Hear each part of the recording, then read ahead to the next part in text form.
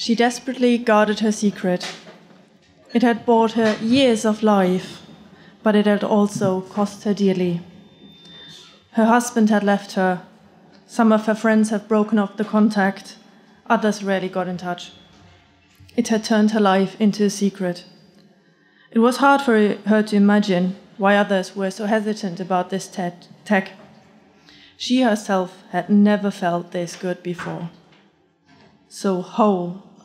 It was the first thing she remembered from waking up.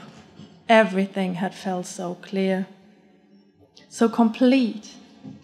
Then the confusion came. Why was she lying in a hospital bed? With all those beeping machines around her. Her oldest daughter slumped in a chair at the end of her bed. In a mix of tear soaked conversations with her family, rushed explanations from nurses, and monologues from the doctors, she finally learned what had happened. She had had an accident, brain damage, not fatal, but expected to leave her disabled for the rest of her life. The doctors had suggested an experimental surgery, a brain transplant.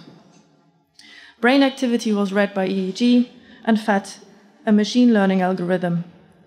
The algorithm was further fed with the complete social media history of the patient, key images, sound, and videos the family could provide, and databases that contains the facts of life adequate to the expected knowledge base of the patient. A scientifically evaluated questionnaire was taken with those close family members and friends to inform predictions about affect, empathy, motivation, and other specified items. All this was fed into the computer who developed a profile of the person, who became the person, lifelike. Simulations ran and were played back to the family until everyone agreed that this was right. Behaved indistinguishable from the real person. A donated healthy brain was chosen, saturated with the data, and implanted into the patient's brain. A risky experimental procedure that was more uh, that was less likely to, uh, to succeed than to fail. But she had declared that she would not like to be reanimated when brain damage was to be expected.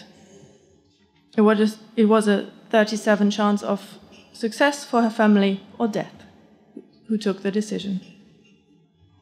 She loved it. She felt like a new person. She found it hard to remember things by herself, but if someone told her a story, she could come up with facts and impressions, memories. She could come up with new ideas. She felt so calm. She assumed that her family had known little about her doubts, her dark secrets. She wondered if she missed them, if there were parts that were gone. So many people were opposed to the technology. Her husband had left her because he felt like he was talking to a robot, no matter how her behavior was like herself before the accident. She was no robot, there was no metal in her. She was completely human, not completely herself, but why would a brain be so different from a heart or a kidney? What mattered about her, her thoughts, were all there. But friends were often awkward around her. She felt like they were trying to trip her up to see how much she was herself. She felt herself all right. Only one thing reminded her about the procedure. Sometimes she looked down herself I got quite afraid. She expected someone older, more mature, maybe. The tattoos always came as a bit of a shock. The doctors had warned her that this might happen. It was the alien brain, a memory that could not be overwritten. For her, it was the only glitch, the only sign that something was wrong. But it was different for others. It was what got the technology prohibited in the end. A man who had undergone the surgery claimed that it was the other brain that had made him do his deed. His guilt could never be fully established. The method was prohibited, and a fierce debate erupted about what should be done with people in her condition. They weren't many, but many took the point that these people should be locked away for their own good, for the good of society, that they could not be trusted. So now she lived with her secret one that had given her years of life.